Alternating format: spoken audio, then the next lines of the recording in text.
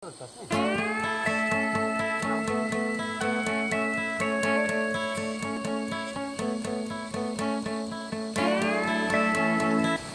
teman-teman ini adalah rekan saya yang merupakan pemilik lahan dari tempat ini ya.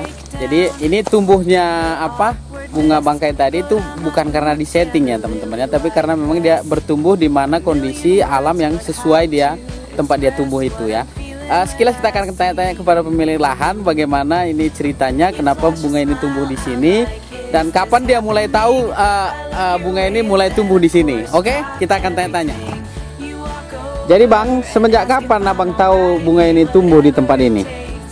Ya, ya ini lebih kurang tiga hari yang lalu. Nah, pas seperti biasa, saya ke ladang untuk membersihkan lahan kebun orang tua saya ini. Begitu saya membersihkan sekitar, saya melihat bunga bangkai yang begini Sebenarnya di lokasi ini beberapa tahun yang lalu bahkan setiap bulan ada aja tumbuh bunga bangkai di sini. Mungkin ini daerah tempat yang cocok untuk bunga bangkai. Oke oke. Jadi udah banyak lah datang turis ke sini nih bang. Uh, seperti biasa juga ini kan jalan pemandian umum. Jadi banyak juga wisata-wisata yang menikmati air terjun terus-terus secara tidak langsung melihat dan mengabadikan bunga bangkai ini. Ada bang uh, pungut biaya kah untuk melihat bunga ini bang? Ya uh, kita tidak pungut biaya karena ini memang uh, tumbuh alami di ladang orang tua saya ini Ah, kalau boleh tahu bang, ini berapa meter ini tercium baunya ini biasanya bang? Oh ini seperti kami yang udah pekerjaan beladang ini, bunga bangkai ini udah hal yang biasa. Jadi lebih kurang ini kalau dia sudah mekar, ini kan masih belum sempurna mekarnya. Kalau udah mekar ini lebih kurang nyampai 500 meter. Oh 500 meter ya. Bau bangkai itu seperti bau bangkai yang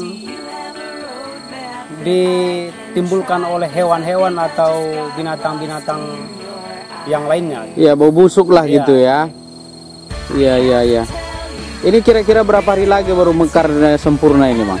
Ini mungkin uh, eh, 2 sampai 5 hari lagi udah sempurna mekar. Dan dia kalau udah mekar, uh, posisi mekar yang sempurna itu bisa lebih kurang 10 hari baru layu kembali. Seperti di bawah ini ini contohnya bunga oh. bangkai yang udah layu. Ini udah layu ya. Dan ini inilah pohon bunga bangkai yang baru tumbuh. Iya iya iya iya.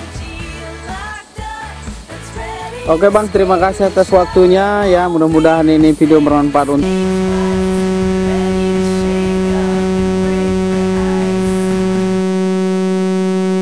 Baik, itu tadi sekilas wawancara kita dengan pemilik ladang di sini. Ya, poin penting yang perlu saya kasih tahu sama teman-teman, ini adalah salah satu keanekaragaman hayati yang dimiliki Indonesia yang patut kita jaga dan kita promosikan ya.